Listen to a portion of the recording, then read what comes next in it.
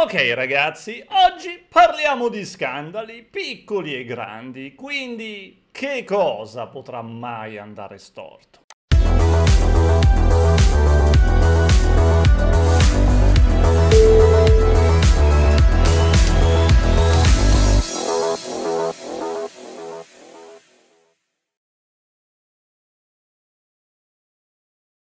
Iniziamo dallo scandalo del Ministero della Cultura, il cosiddetto caso Boccia San Giuliano, perché evidentemente Boccia conta molto di più di San Giuliano e poi suona meglio mettere lei per prima.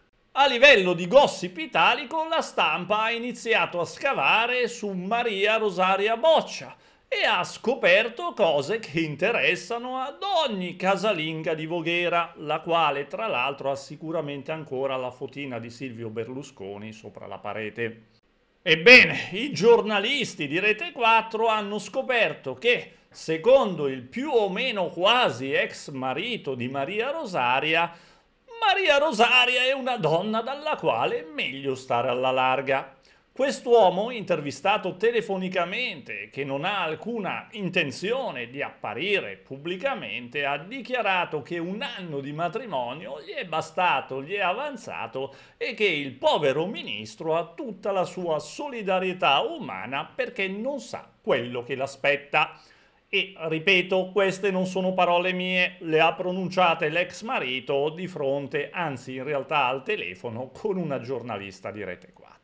I giornali stranieri invece hanno fatto leva sul fatto che il ministro per la cultura abbia preso del tempo prime time sulla Rai 1 per chiedere scusa alla moglie e scoppiare quasi in lacrime, mentre gli altri hanno sottolineato il fatto che il ministro sia sostanzialmente fedifrago. Ora, senza voler offendere nessuno, il dato di fatto è che il ministro, dopo essere andato in tv a perdere la sua dignità, a piangere, a chiedere scusa alla moglie, che tra l'altro, con tutto il rispetto, se devi chiedere scusa a tua moglie, vai in tv a farlo, va bene che è il ventunesimo secolo, ma la prendi da parte un attimino e glielo dici. Se proprio proprio non vuoi correre il rischio di incontrarla di persona, perché magari la tua stessa scorta ti dice non è il caso dottore, finisce male e noi non riusciremo a proteggerla adeguatamente, le mandi un videomessaggio privato, non vai al TG1. E adesso che ci penso un attimino, in effetti questo potrebbe essere peculato perché fai un uso personale della TV pubblica.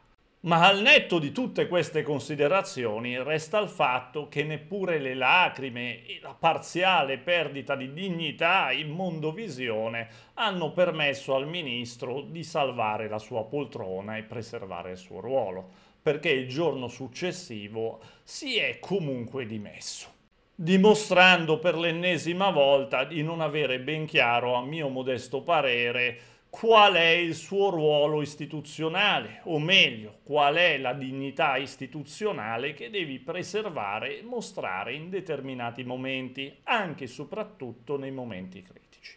Mi spiego meglio. Questa è la lettera di dimissioni del ministro.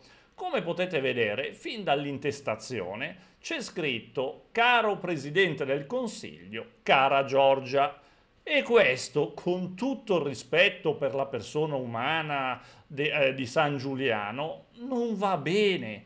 Tu in quel momento, quando stai rassegnando le tue dimissioni, non sei un amico di Giorgia, quindi il cara Giorgia è completamente fuori luogo, così come a mio modesto parere lo è anche nei confronti del caro Presidente del Consiglio sei una figura istituzionale, devi rapportarti al Presidente del Consiglio, non a Giorgia.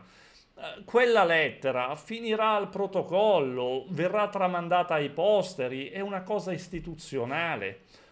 Se vuoi scrivere a Giorgia, cara Giorgia, mi dispiace per il bippino che ho combinato, esiste WhatsApp e addirittura puoi cifrarla con Telegram la comunicazione privata ma quella è una tua comunicazione privata, non puoi mischiare fino all'ultimo secondo il privato con l'istituzionale. se lo fai, finisci nei bippini. Poi certo, dobbiamo riconoscere a San Giuliano che è rimasto coerente dal primo all'ultimo minuto, volendo fare una battuta, ma è sbagliato. E tra l'altro è sbagliato anche il motivo per cui San Giuliano afferma di essersi dimesso. In realtà è in buona compagnia, perché tutto il mondo sembra concentrarsi sul gossip ci sono solo poche lodevoli eccezioni, ma nessuna di queste ricopre un ruolo istituzionale o è un giornalista di grido. Ci sono io, c'è qualche altro giurista, c'è qualche giornalista, c'è qualche influencer, ma siamo davvero pochi. Il problema non è questo non è il fatto che avesse un amante, questo problema può essere tale per gli inglesi, per gli americani, che detto fra noi sono gran brave persone, almeno fino a quando non si parla di Trump, ma sono leggerissimamente bigotte, ecco. Il problema qui è che San Giuliano ha mostrato di non avere rispetto per le istituzioni, ha dimostrato anche di non avere il senso delle istituzioni purtroppo perché non puoi portarti appresso una persona e presentarla come consigliere, cioè riconoscere un ruolo istituzionale quando questo ruolo istituzionale non c'è e non esiste. E tra l'altro io non lo posso sapere, ma ripeto, da come si sono svolti i fatti e dalle risposte date dalla non più dottoressa ma signora Boccia, perlomeno secondo il suo quasi ex marito, eh, la nomina non c'è mai stata, ma lei non lo sapeva che non c'era stata la nomina, continuava ad accreditarsi così, nelle locandine veniva accreditata in un certo modo, riconoscendole un ruolo che però di fatto pare non avesse. Ora, se tu sei il ministro, quando partecipi a una riunione con la signora Boccia al tuo fianco e un funzionario pubblico, un quadro, un dirigente per organizzare qualsiasi cosa, e lei si presenta come consigliere del governo. Tu non pensi di avere il dovere di dire guardate la signora è la mia compagna oppure è un mio consulente privato, non ha alcuna figura istituzionale. Non pensi di doverlo precisare, è il minimo sindacale. Dopodiché, dopo la prima volta che si comporta così, la seconda volta che si comporta così, io francamente prenderei da parte la signora Boccia e direi guarda, con tutto il bene che ti posso volere, non hai un ruolo istituzionale, smettila di presentarti così perché mi metti in imbarazzo. E alla terza volta probabilmente non la porterei più con me agli incontri istituzionali, perché chiaramente è fonte di problemi. E anche comportandomi così, giustamente, Altre persone potrebbero dire che me la sono portata dietro a incontri istituzionali due volte di troppo, forse anche tre. Quando sei ministro, poi, hai il dovere di adempiere alle tue funzioni con disciplina ed onore. E senza offesa per San Giuliano, qui è mancato in entrambe di queste qualità. Senza contare il fatto che il tuo ruolo di ministro dipende ovviamente anche dalla fiducia che il Presidente del Consiglio può avere su di te e sul tuo operato. Se appare inaffidabile perché combini un bippino per un non nulla, come in questo caso, come può il Presidente del Consiglio continuare a farti fare il ministro? Qui bastava pochissimo per evitare il disastro Bastava dire la signora Boccia non è consulente del governo, è la mia consulente personale. Certo, dovevi dirlo anche alla signora Boccia e magari erano bippini di tipo diverso, ma non è un problema istituzionale il tuo rapporto con la signora Boccia. Ok? Quindi è corretto che il ministro si sia dimesso e sventuratamente per noi è stato sostituito con qualcuno che senza offesa non mi esalta.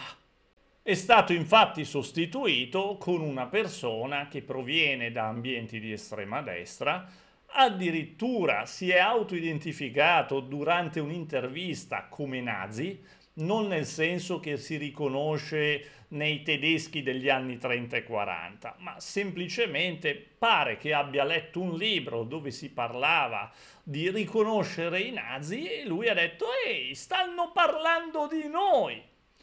Ora, premesso che l'autore di quel libro poteva avere delle idee un pochino particolari, magari anche boldriniane, in cui se sei a favore di Israele sei brutto, cattivo e puzzone, e che quindi magari c'è anche un misunderstanding di fondo, bisogna riconoscere che però le premesse non è che siano delle migliori. Poi, nel 2018, questa persona appoggiava tanto Trump quanto Vladimir Putin. E se chiunque di noi che non si occupava di politica, era distratto, stava guardando qualcos'altro, poteva avere, non dico legittimamente, ma comprensibilmente, le idee confuse su chi fosse esattamente Vladimir o Vladimirovich Putin, se tu sei politicamente attivo, vieni invitato a fare il moderatore ad Atreio e chiedi a Steve Bannon eh, come si può far venire meno le sanzioni perché zio Vlad è un vero e proprio patriota, insomma, io un filino mi preoccupo, ecco. Così come mi preoccupo quando c'è qualcuno che sostiene il sovranismo a priori a tutti i costi. Il sovranismo non è sempre un bene e per quanto riguarda il patriottismo, anch'io mi ritengo un patriota, perché penso prima alla mia famiglia, ai miei amici, ai miei parenti, ai miei vicini di casa, alla mia città, alla mia nazione e poi anche al mio continente. Ma il punto è che il bene della mia nazione non coincide sempre con il sovranismo stretto. Ci sono situazioni in cui è meglio far parte di una realtà più grande. In un mondo dove hai la Cina con qualche miliardo di persone, l'India che conta anche qui tantissime persone, una Russia con 130-140 milioni di persone, gli Stati Uniti con i loro 300, far parte dell'Europa non è poi tanto male. Puoi ottimizzare un mucchio di cose in una realtà più grande. In primo luogo la tua moneta non è più vulnerabile come lo era prima. Pochi se lo ricordano, ma Soros effettivamente ci causò letteralmente nell'arco di qualche giorno danni economici spaventosi perché riuscì a condizionare il valore della lira da una parte e della sterlina dall'altra. Fece degli attacchi speculativi su, sulle nostre monete o comunque sui nostri asset di Stato paurosi e ne pagammo il prezzo negli anni 90. Quindi se mi dicono Soros ti finanzia, che simpatico, grazie ma no grazie, perché fece dei danni enormi poi era il suo lavoro? Può darsi, ma anche i bippisti facevano soltanto il loro lavoro, ok? Invece Soros, quel Soros degli anni 90, un attacco contro l'euro non avrebbe potuto portarlo avanti, non avrebbe avuto successo e se l'avesse avuto non avrebbe causato letteralmente centinaia di migliaia di disoccupati, ok? Questo è uno dei casi in cui fare squadra è un bene. Similmente, se riuscissimo ad avere un esercito europeo, cosa per la quale si sta battendo per esempio l'eurodeputato Salini e anche l'eurodeputato Moratti, perché è stata eletta anche lei, va bene, abbiamo molte spese in meno, invece di avere 17 main battle tank con 17 progetti che vanno tutti finanziati, avere 17 linee di produzione e avere 17 tipi diversi di pezzi di ricambio per ogni battle tank, ne abbiamo uno, risparmiamo molti soldi che come contribuenti possiamo o risparmiare o investire in altro, magari nel sociale. E la stessa cosa vale per la Nato nessuno è talmente imbecille da attaccare un'alleanza di 30 nazioni o quelle che sono. Non a caso Putin ha preferito attaccare l'Ucraina, benché gli stati baltici ufficialmente e ufficiosamente sarebbero stati dei bersagli più semplici da conquistare. Solo che se avesse attaccato i baltici avrebbe avuto contro tutta la Nato e quindi 30 nazioni fra le più ricche del mondo e anche le più potenti e più capaci tecnologicamente. Attaccando l'Ucraina, zio Vlad pensava di avere campo libero su una nazione debole economicamente e militarmente.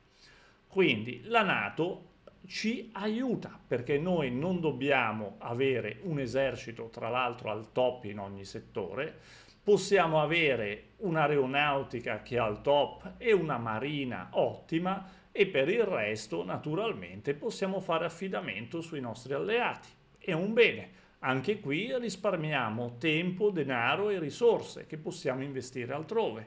Se mai gli Stati Uniti dovessero ritirarsi, in questo caso dovremmo investire molto di più per coprire le lacune che loro lascerebbero. Ma anche in questo caso essere sovranisti ci renderebbe vulnerabili agli attacchi esterni. Gli ucraini sono sovranisti, non hanno avuto alternativa, e sono sotto attacco dei russi con parte del loro territorio occupato da una potenza straniera. Questo è un dato di fatto. E gli ucraini volevano entrare nell'Unione Europea, eh? Infine, San Giuliano aveva i suoi evidenti limiti e difetti, ma qualcosa di buono come ministro è riuscito a farlo è riuscito per esempio a fare in modo che i musei fossero aperti anche durante le vacanze e questo ha portato a maggiori entrate anche per i musei alla possibilità di fruire dei musei in maniera più ampia e nel periodo in cui hai più tempo libero. Questo gli va indubbiamente riconosciuto. Vedremo che cosa farà il nuovo ministro della cultura. Come sempre io un pochino di preoccupazione ce l'ho, perché detto fra noi, una persona che mi esalta Vladimir Putin non mi entusiasma.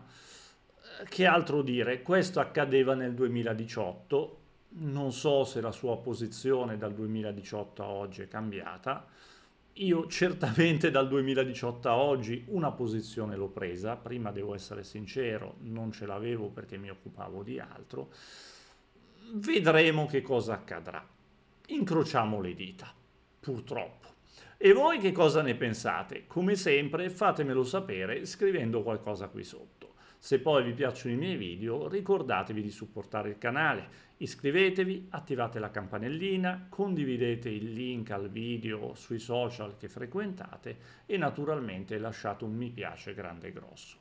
Per voi sono solo pochi clic ma per il canale sono molto importanti.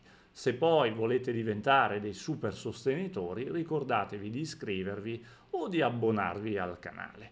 Costerà un po' di più, avrete qualche piccola gratificazione simbolica, ma farete qualcosa anche di molto più concreto. Eh, infine, se non farete tutto questo, in un futuro alternativo, remoto e decisamente improbabile, potreste ritrovarvi San Giuliano come amministratore del vostro condominio. Io vi ho avvisati. Poi fate voi. Come sempre, grazie di tutto per tutto e a presto.